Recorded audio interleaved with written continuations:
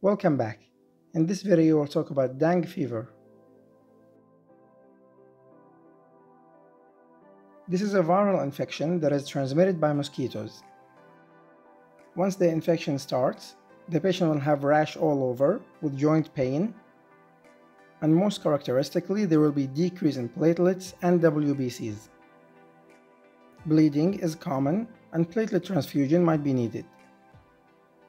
The infection takes about 2 to 3 weeks to resolve and it's self-limiting. If a patient had the infection again a second time, the symptoms will be a lot more severe and the attack will be much worse. So to recap, dengue fever is a viral infection that is transmitted by mosquitoes. The symptoms are self-limiting and they take about 2 to 3 weeks to resolve.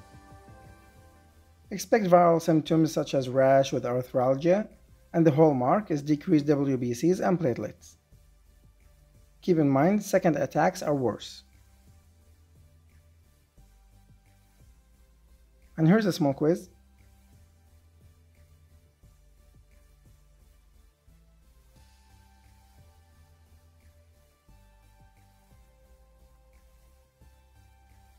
And here is the answer.